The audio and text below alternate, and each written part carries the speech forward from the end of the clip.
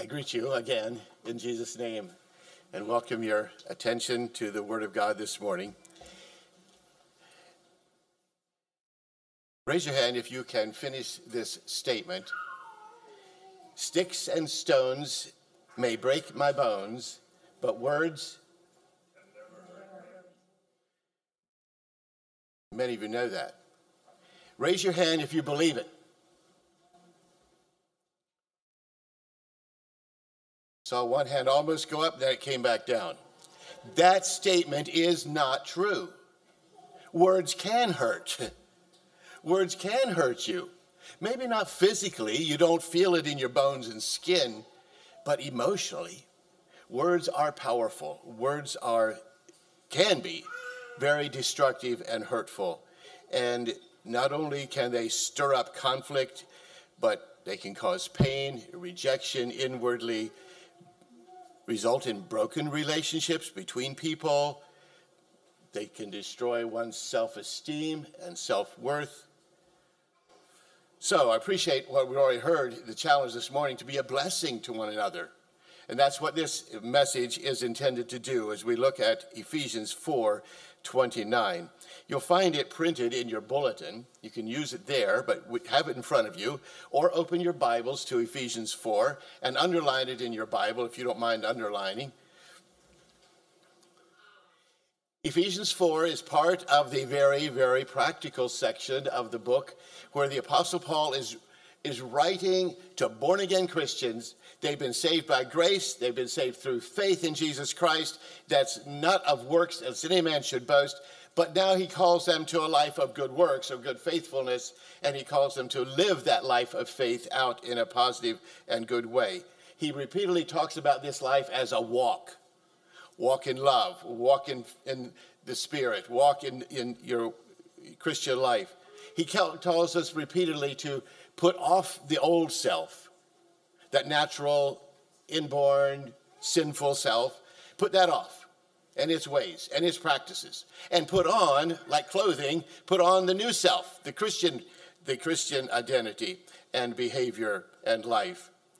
And so verse 29 is a part of this practical section calling us to put off the bad and to put on the good and it comes as a strong command and i just start with that here this morning. This is a command. It's not a mere suggestion or even a good set of guidelines, but it's command. You might say orders from headquarters. Uh, let's read together Ephesians 4:29. We'll do this several times today, so keep a copy of it in front of you until you have it memorized. Altogether, Ephesians 4:29.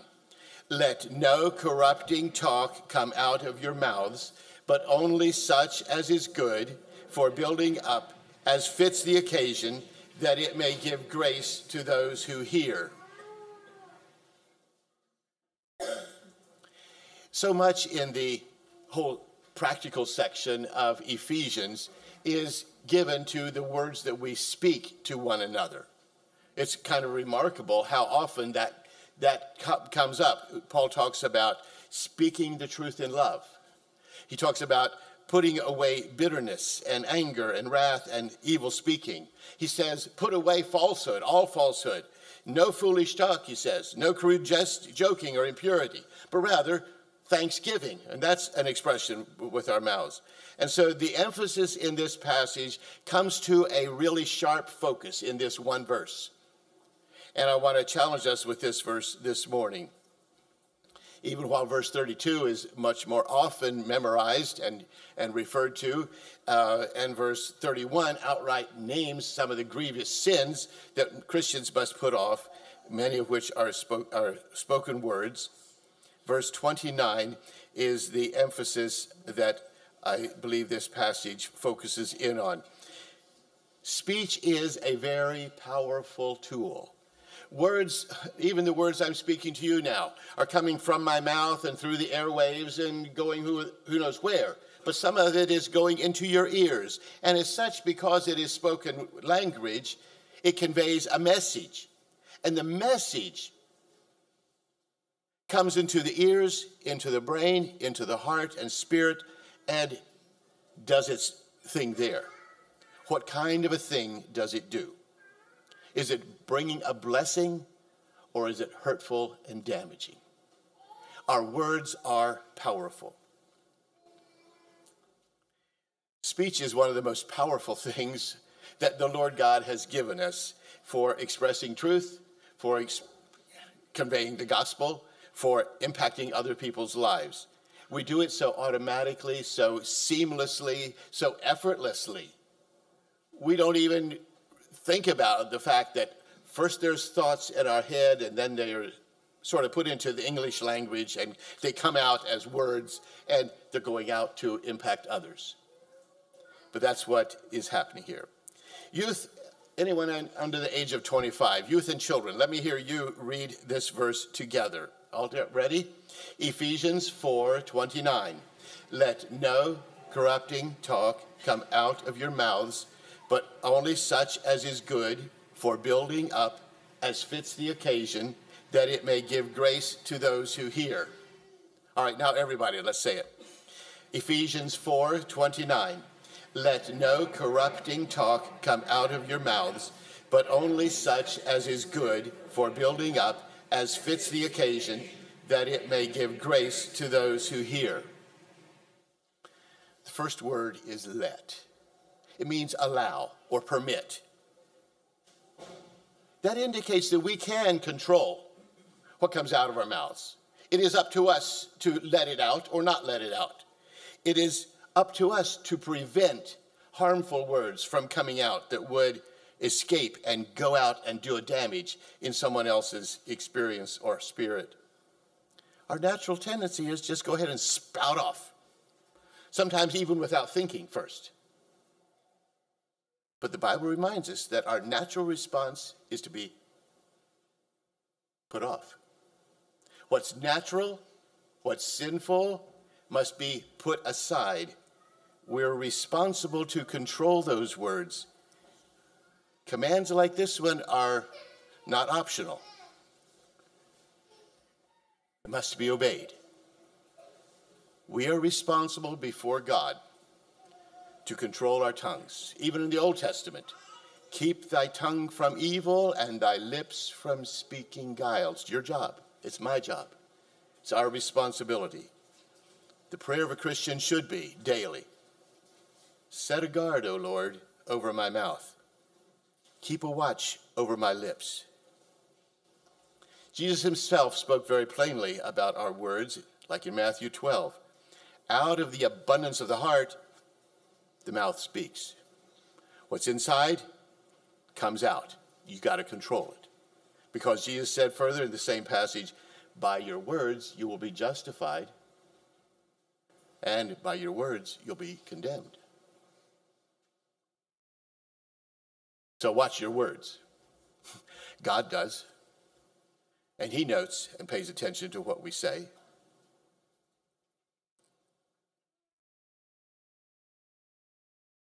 Just because you think something in your head doesn't mean you need to say it with your mouth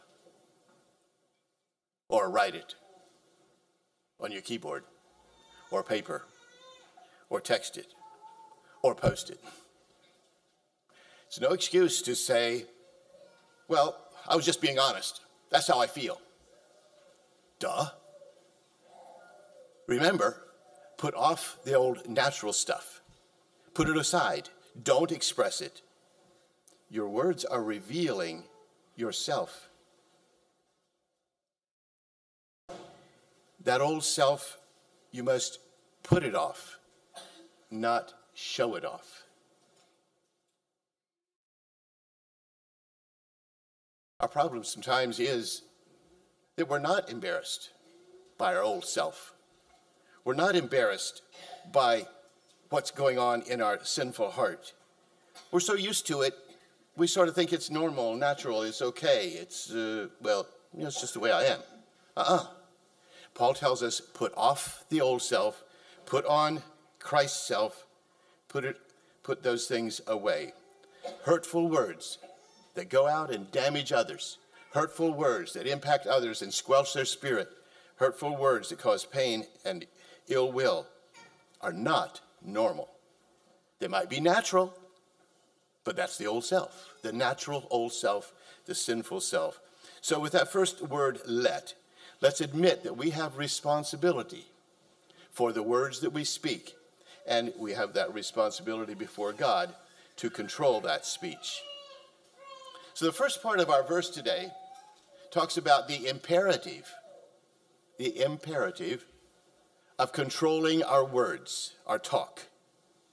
It is a strong and it's a negative command, but so are many of the Ten Commandments. They're strong and they're negative. Thou shalt not. That's what this one is. Thou shalt not corrupting words. Don't let them out. Don't think of a thou shalt not as some kind of a restrictive and, and depriving command that's robbing you of some, something you ought to do. No, it's not that at all. It's just limiting what you should do by saying, not this, but then it's leaving the whole realm of other things open for you to do and enjoy and uh, engage in. Even if there's one negative command here, there's four positives. We'll get to them. So there's one negative, no corrupting talk. And then there's four positives good, building up, fitting the occasion, giving grace. And all of these words even the corrupting words, have one thing in common. The one thing they have in common is they're making an impact on somebody else. They're making an impact on someone else. Our words do that. And God is in giving directives here for our speech on the basis of what we say and how it affects other people. Speech is not about me then. It's about the person that's listening or hearing it, the person that's receiving that message. So my speech is not to be a vent for my feelings. That's rather selfish to just think about myself and getting something off my chest. So I must weigh what I say to share that I care. Let's be careful what we say or what its effect might be on others. So, those forbidden words are corrupting talk. No corrupting talk come out. Somehow squelch it, stop it, put a hand over your mouth, uh, clamp your jaws shut. Corrupt means that something is rotten unwholesome, it's polluted and evil. But the word is not corrupt. The word is corrupting. Did you notice? It's not just that these words in themselves are corrupt, but that they have a corrupting impact on others. That is, what is rotten in itself is making other things also rotten.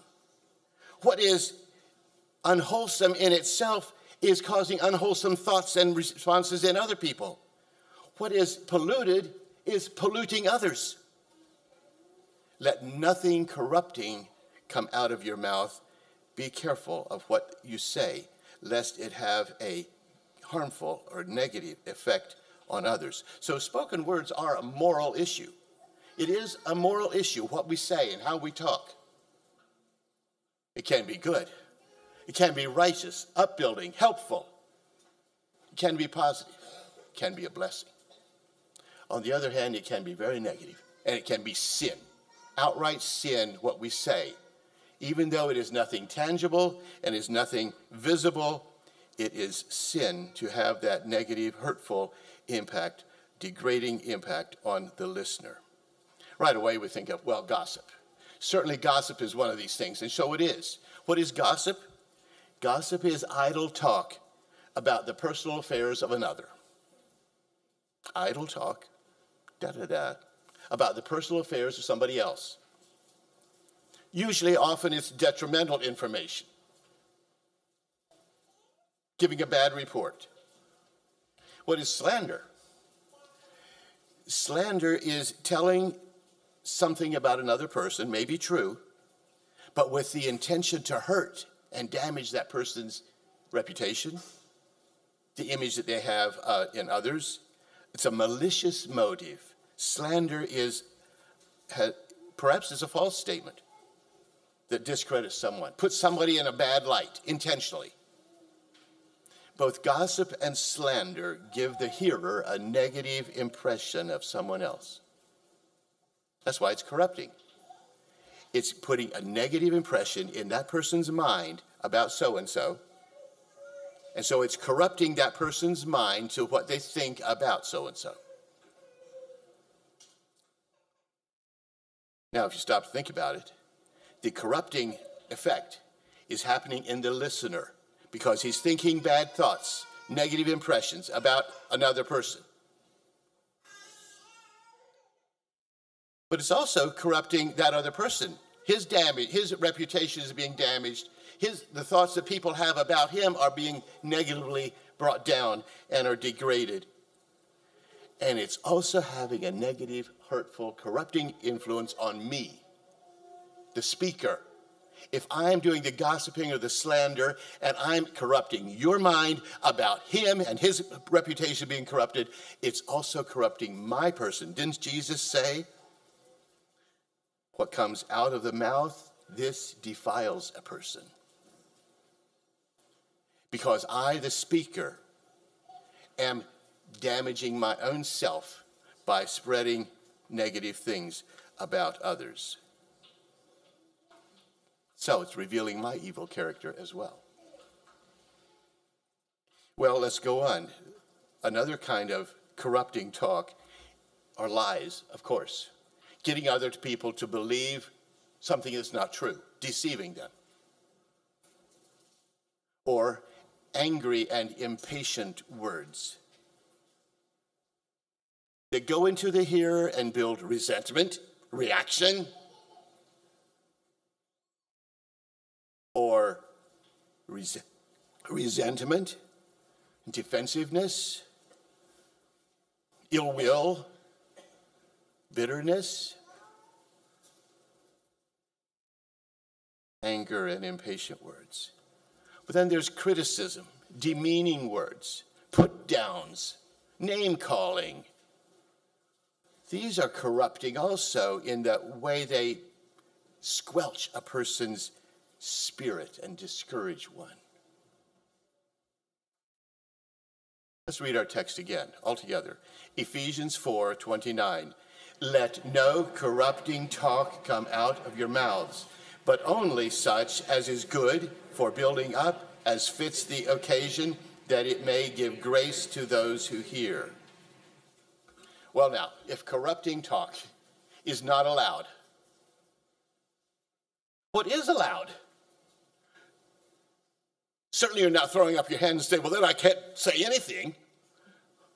Oh, yes, there's lots of things to talk about that's not corrupting. And here we have four right off the bat good words, words that are beneficial, helpful, doing, having a good impact on others, words that are building up. Upbuilding words, that's our second one. Uh, words that encourage and lift the spirit.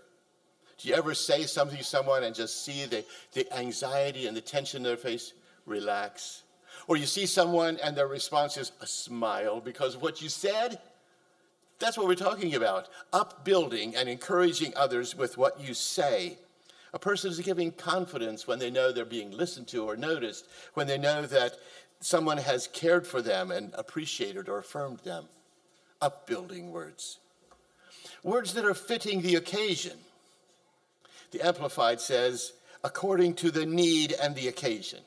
Something that fits that situation and is meeting the need of the hour, meeting the need in that person. And again, the concept is your words will impact them in a way that is suitable for their need.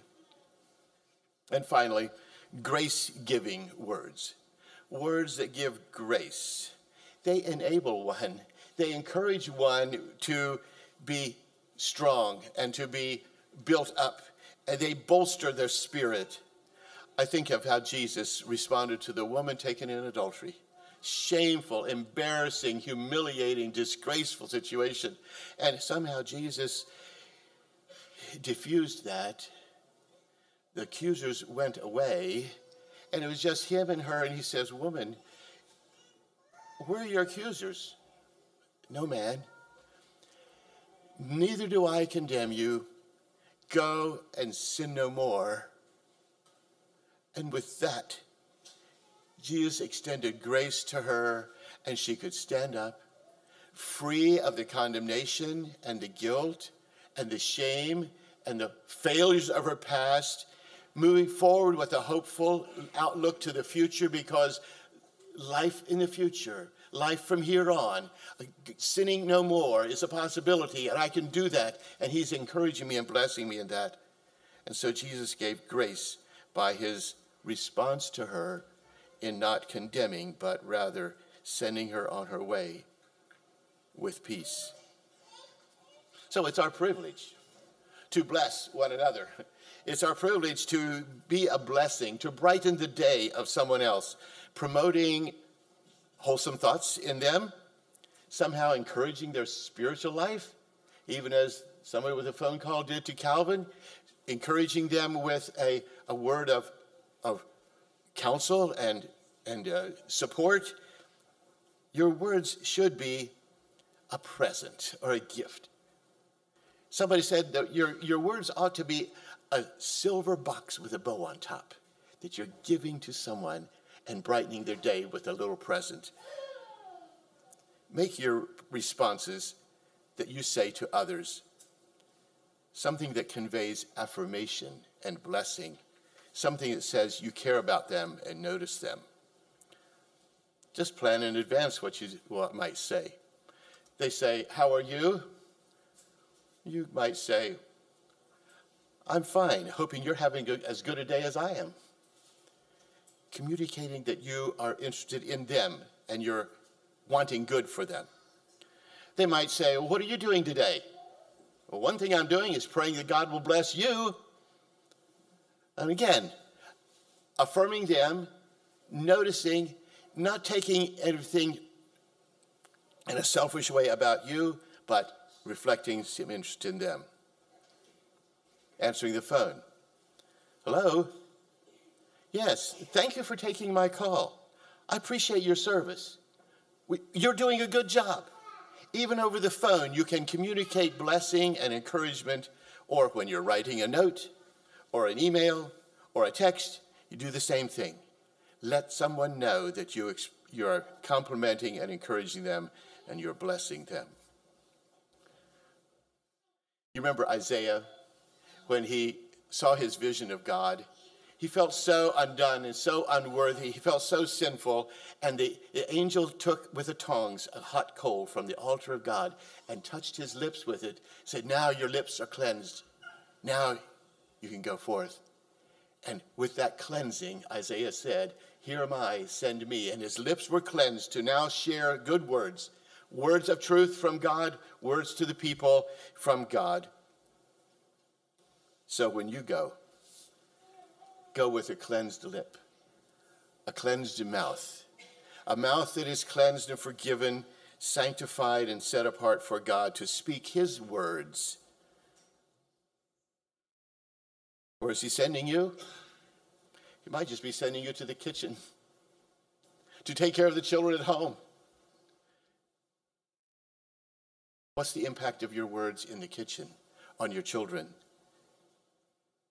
Maybe sending you to the job with your coworkers. How can you bless and encourage them? How can you speak a word to them that turns their attention to God, to good, to right living, to hope? Maybe sending you to school.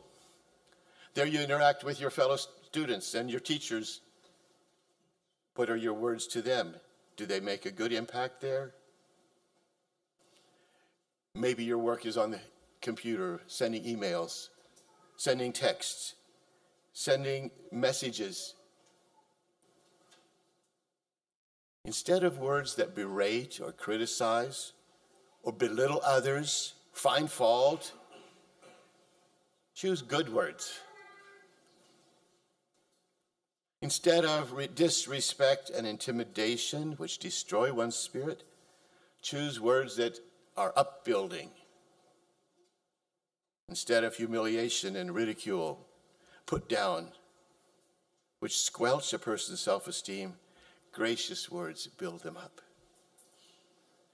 Because once corrupting words come out of the mouth, you can't get them back. They're out there. They're doing their damage. They're making their effect. Is it a good effect or is it a negative one? Our text calls us to be always careful to send words that make a good and positive effect.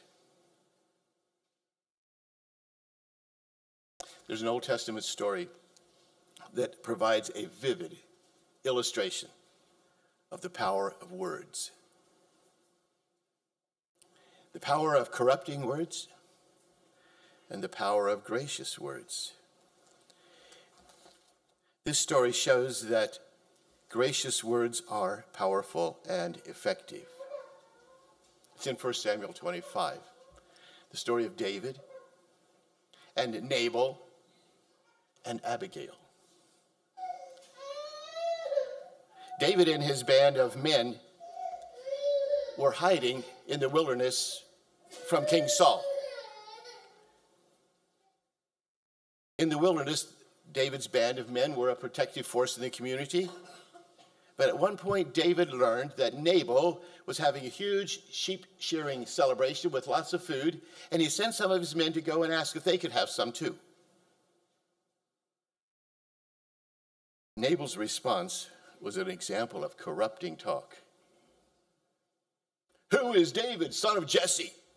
Lots of servants are running from their masters these days. Should I give my hard earned bread and meat for men who come from who knows where? Nothing. When the report came to David, you can see the corrupting impact it had on his heart. Immediately he responded, he reacted. He responded with corrupting words himself. Put on your swords, let's go. All this time we've been guarding this man's territory and property, and nothing has come of, he's not lost anything, and he's going to treat us like this. We'll wipe them out before morning.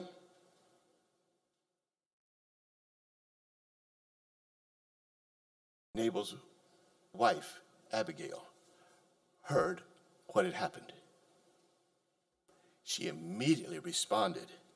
She set out with lots of food and on her way, she's planning what shall I say? What shall I say? Listen to what she says.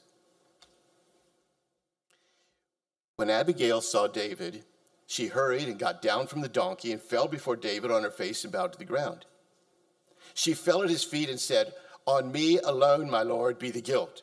Please let your servant speak in your ears and hear the words of your servant. Let not my Lord regard this worthless fellow Nabal, for his, as his name is, so is he. Nabal is his name, and folly is with him. But I, your servant, did not see the young man of my Lord whom you sent.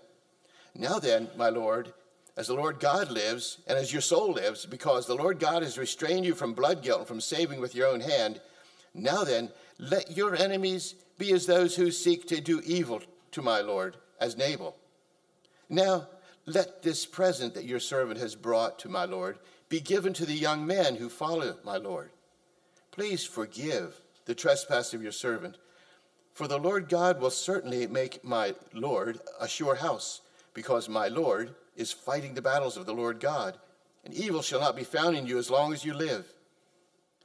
When the Lord God has done to you according to all the good he has spoken concerning you, he's appointed you prince over Israel you shall have no cause of grief or pangs of conscience for having shed blood without cause, or for my Lord working salvation himself. And when God has dealt well with my Lord, then remember your servant. And with those words, David's anger and retaliatory actions were squelched and calmed. He immediately changed his tune he thanked her for coming to speak to him. What was it in Abigail that prompted such an attitude change in David's life and heart? I see four questions that she was thinking about and asking herself as she was pondering, how shall I address this man? Here she is, one woman against 400 men with swords, she doesn't have a chance. And she was in a dangerous situation, but her whole family was in a dangerous situation. Her whole family was about to be wiped out. I've got four questions. I'll give each section one. You over here, remember this one. Abigail was wondering, how can I calm this volatile, explosive situation? How can I calm it down?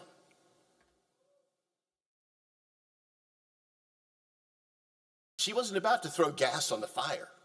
That would only make things worse. Rather, she wanted to put the fire out. So she considered words that would impact an angry man and help him calm down. She intervened and prevented a slaughter. She intervened and she prevented retaliation on her husband and the entire family. Second question she asked for you guys to remember How can I honor him?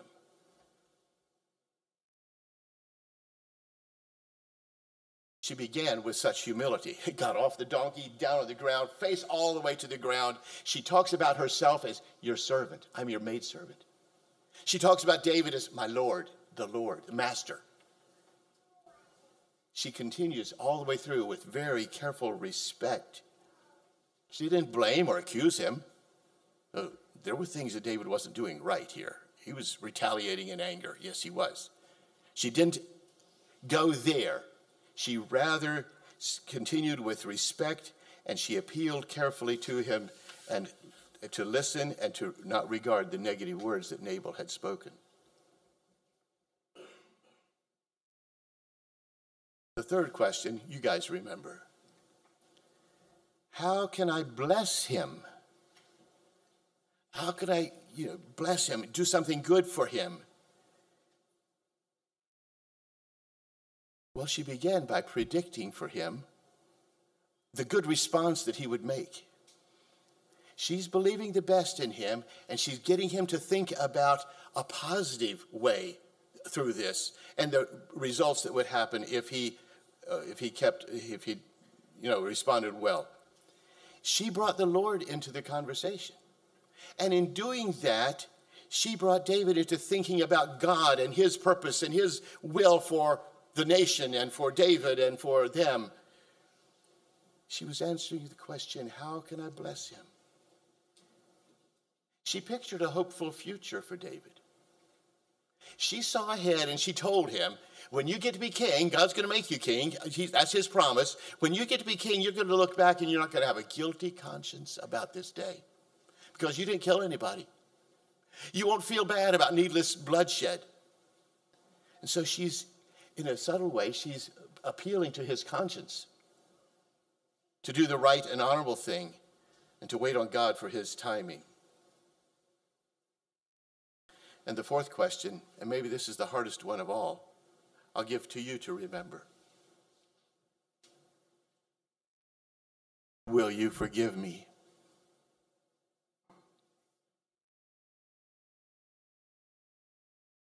Abigail wasn't even there when Nabal blurted out his corrupting talk. But she was part of that situation. She was part of that family. She was part of the family that was about to get wiped out. Will you forgive me? She went so far as to ask David to forgive her. Not as a ploy to try to get her way, but as a sincere and humble request she admitted that what had happened was wrong. She admitted that it was foolish what Nabal had said.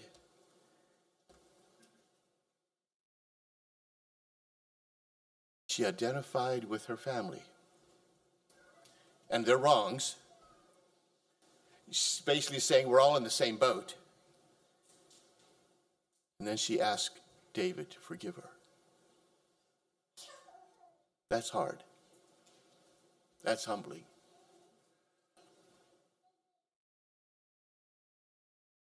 On the other side of the coin, it's hard also to say, I forgive you.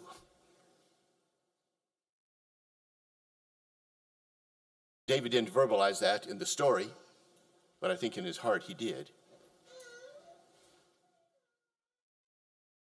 Fact, he later took Abigail, then a widow, to be his wife.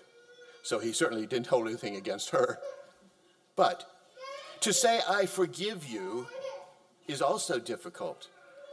But those three words will powerfully affect you, the speaker. Whether you say them out loud to the person that hurt you, it's not always the best or appropriate. Maybe they're not even wanting forgiveness. But to at least say them to God God, I forgive him. I forgive her. I release them to you. I let go the hurt that they did against me. I release their debt. And I commit them to you, God, to judge them and do what's righteous. We justify ourselves. It only hardens our heart against the other one and against the poison of bitterness. Bitterness, that is, refusal to forgive, eats away at one's soul and destroys and damages, it even brings health problems. But forgiveness releases you of that. I had a very insightful remark this week as I visited David Showalter. He told me the story of a very hurtful, negative remark that someone made to him about his dear wife. I almost lost my non resistance, David said. Now, he didn't react to that person and he didn't even express it or confront the person. So I asked David, Well, what are you doing about it? he chuckled and he smiled and said, I'm getting over it. Just like that, I'm getting over it. And there was no bitterness, no ill will, nothing he was holding against that person for what she had said. He's getting over it. Bless his heart. You know, folks, in this world, there's enough sinners around, and there's another one in my own shoes. There's going to be offenses. Offenses are going to happen. And Jesus would say, Can you get over it? Are you willing to let it go?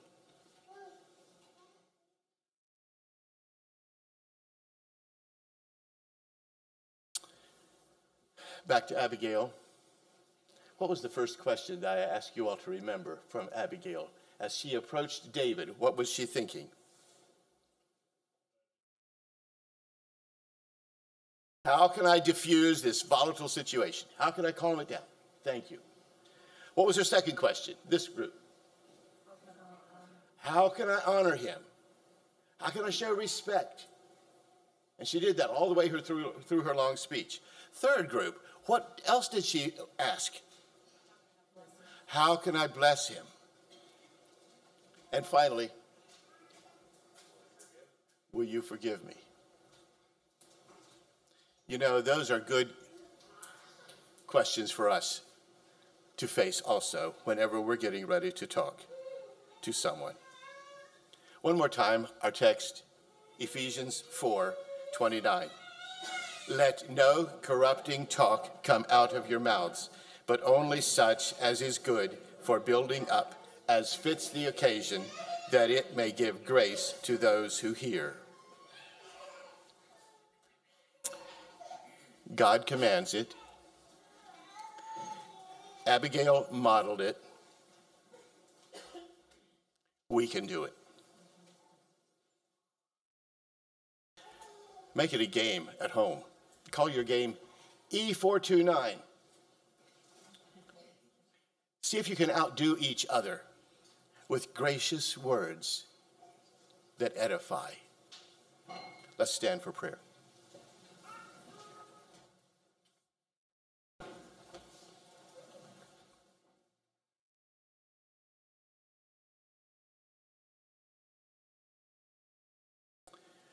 Let the words of my mouth and the meditation of my heart be acceptable in your sight, O Lord, my strength and my Redeemer.